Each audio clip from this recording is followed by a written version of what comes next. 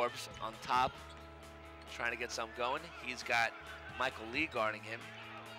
Gary Forbes and Lee one-on-one. Forbes, nice kick out. Chris Lowe, three-point shot. Book it!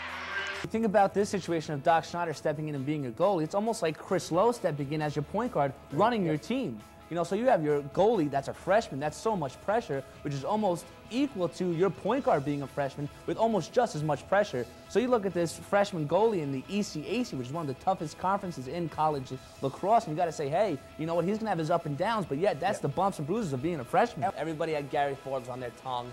And it seems that when we talk about Gary Forbes, we're talking about the disappointment that's been following him. But I don't think that disappointment is really going to be sticking around much because, like I said, I think Gary Forbes is finding his niche and I really feel that he's starting to become more familiar with how he can contribute to this team.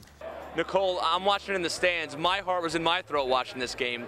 What was the emotion of, of, your entire team, yourself, as this game is going on? Third game, rubber match, came all the way down to the end. I mean, I think we were definitely disappointed after the second game, missing a lot of our serves. Morris Catholic tra traditionally has a very good program. You guys were able to come to their house and beat them in a very tight game. What does that do for you guys, you know, confidence-wise and, and, looking forward into the rest of the season? Yeah, it, it brings a lot of confidence to our team. He can really rebound the ball. He's probably one of, the, I think, top three on the team in rebounds. Gary's looking, left side screen from Dante. Gary's still going, nothing there. Gets it to Dante Milligan somehow, and Milligan will finish. It seemed that towards the end of the third quarter, you guys really clamped down on them defensively. What were you guys doing? What'd you change? Um, definitely just uh, better help defense. Rebound by Gary Forbes, kicks out to Chris Lowe. Lowe goes middle. Nice layup, Chris Lowe. Kevin Durant is being compared to Tracy McGrady and Dirk Nowitzki, who have how many championships? That many zero championships. There are so many players that are 6'10 with a long wingspan that can score at will. It takes a center to win. Scoring this game. So very surprising.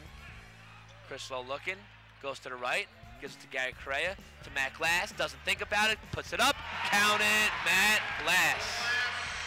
There's one thing that I would love to see Stephane Lasme do before he goes off into the sunset of whatever he has following his UMass career. I would love to see him commit to working on a 13 to 15 foot jump shot, which to me would make him even more dangerous than what he already is.